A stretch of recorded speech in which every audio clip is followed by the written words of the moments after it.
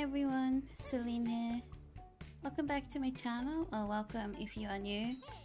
This video is going to be a live slash channel update. I've been gone for quite some months with very sporadic uploads here and there.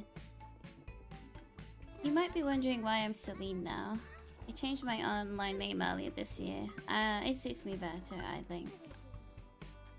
Also, my channel now is called Angry Vampiress.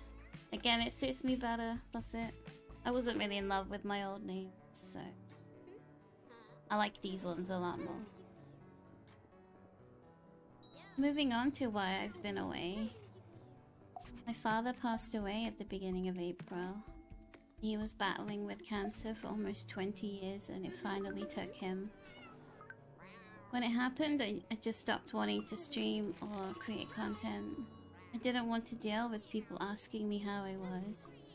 I didn't want to deal with having to pretend like I gave a crap about anyone else during that time.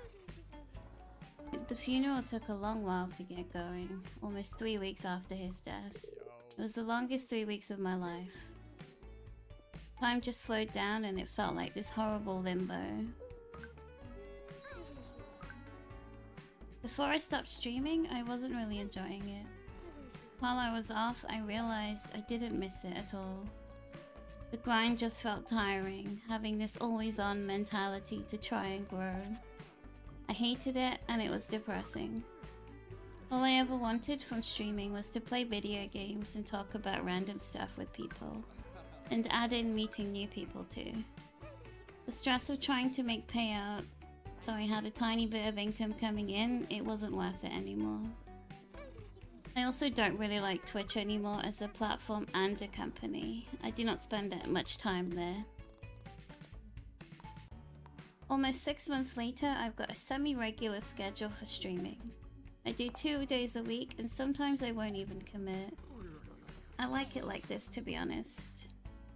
I do like streaming, but I also don't feel the need to do it much anymore. As a creator, I have outgrown streaming as a whole, and my focus will be YouTube now. I plan to make more videos, around one to two a week, of whatever games I feel like. Any playthroughs I had will stop, I'm not planning to edit them anymore. I've deleted all the recordings I've made, all the way back to 2019. There are games I would still want to get up to get up onto YouTube, but I think I would rather record them again with fresh eyes and commentary. A lot has happened this year. I've also created a new channel purely for life sim games. I love cute games and life sim games, and I think it would be better suited on its own channel. I'm also aiming one to two videos a week on that channel too. As for my personal life, a lot has been happening. Since April, a number of things have changed for me. I moved home. I've been slowly getting used to this new house. I don't love it or hate it, but it doesn't feel like home yet. I'm not sure when it will or if it will, to be honest. I've started a leatherworking course at my local further education college. I'm really enjoying it.